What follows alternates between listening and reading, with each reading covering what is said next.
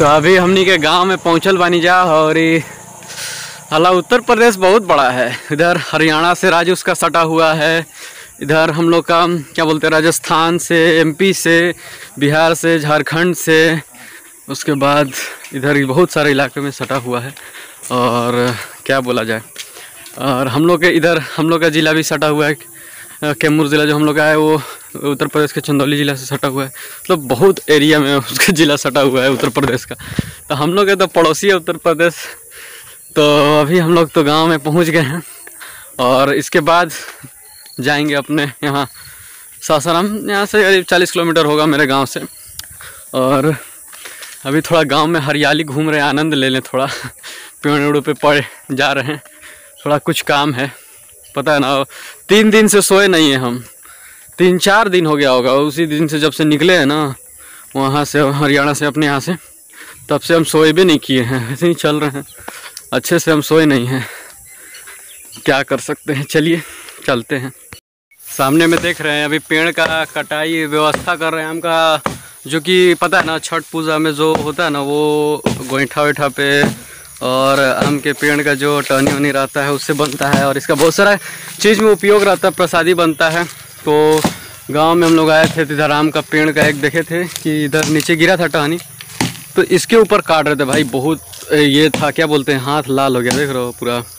आधा दूर तक तो हम काटे थे और आधा दूर तक ये मेरा भाई ये काट रहा है और ये है लालू।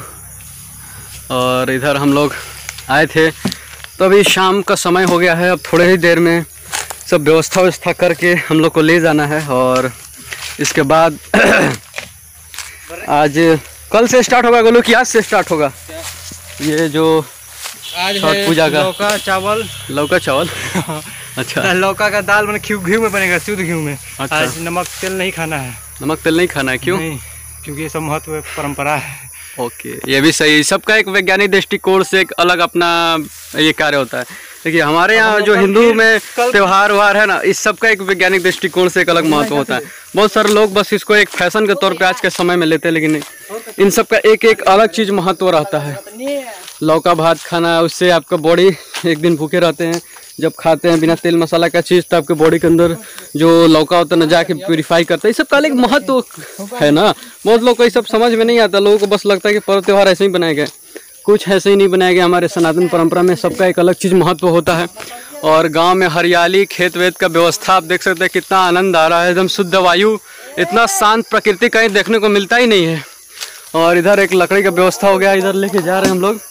और इधर अभी एक और टहनी है इसको काटा जाएगा हम लोग। और देखते हैं कब तक हो पता है। हाथ लाल हो गया बहुत सारा काटते काटते यार। बड़ा मोटा मोटा टहनी है पता है ना? इधर देख रहे हो देख सकते हो इधर। हाथ लाल हो गया पूरा हाथ लाल हो गया है फोरा उरा जैसा उठने लगा है। तो समझ सकते बड़ा मेहनत लगता है सब कार्य करने में। आजकल के लौंडा सब है उन लोगों को क्या पता है कुछ पता भी है? खाली बिल्डिंग में शहर में रहला लेना होला। जब ज़मीन से आदमी जुड़ेलन तब समझ में होला का महत्व होला का महत्व ना होला। बुझाइल? ले हमनी के थोड़ा बहुत मेहनत करते रहने नहीं जा अपना हाथ पैर चलावे रहे के चाहिए हमेशा। तब आदमी एकदम गाँव के आदमी एकदम मस्त रहलन तंदुरुस्त रहलन। पूरा गर्मी गर्मी हो गई ठंडा के दिन में। समझ सकते हैं। तो चलिए अब चलते हैं इसको लेके हम लोग घर पे। और थोड़ा बहुत होगा तो उसको भी काटेंगे हम लोग। ठीक है? ये टांगी दिख रहा है ना इसी से अब जा रहे हैं इसको काटने डाली को। और देखते हैं कितना दूर तक कटता है। पहले तो इसको काफ़ी मोटा इसका टहनी है देख रहा है। चला हाथ झंझनाने लगा तो हमारे। लाओ लाओ दो। लाओ लाओ लाओ भैया। हट जाओ। हट जाओ हट जाओ गिर जेबे तो हम ना बचेगा फिर। ये गिरेगा। भैया डो नहीं गिरेगा। ये गिरेगा। अब हम काट रहे हैं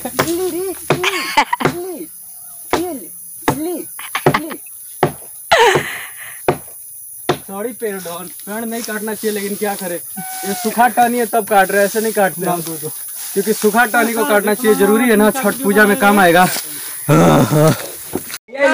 बाहुबली के तरह टंगा है ना। बाहुबली। बाहुबली। गाँव में एगो अलगे आनंद आवेला पता बा ना माहौल बना के। ना छोड़ो। भारी निके ना लगत। पटक दे रे। उठाओ। देखो हमारा इतना कमज़ोर आदमी है कि देखो इसको उठाए इतना मेहनत से काटे हैं भाई। है कि नहीं?